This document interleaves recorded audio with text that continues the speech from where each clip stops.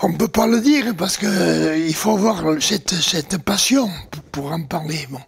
Moi, je suis passionné. Si par exemple, je parle avec François, il comprendra tout ce que je dis là. Hein? C'est- Mais si vous parlez à quelqu'un qui n'a jamais chassé, oh. Vous comprenez C'est bon. moi, je parle jamais des choses à, quelqu'un qui n'est pas chasseur. Ils ne savent pas ce que ça représente. Par exemple, chasser l'isard, pour moi, je vous dis, ça a été la chasse la plus passionnante de ma vie.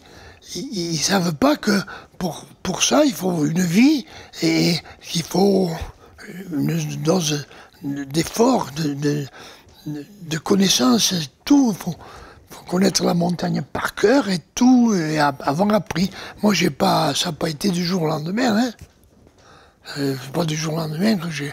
Ah, Peut-être une fois tu vas là, et puis euh, il y a un qui n'a pas de le- on le tue, mais faut, faut pas s'imaginer qu'on est un grand chasseur, hein, parce qu'on a prélevé un isard. hein.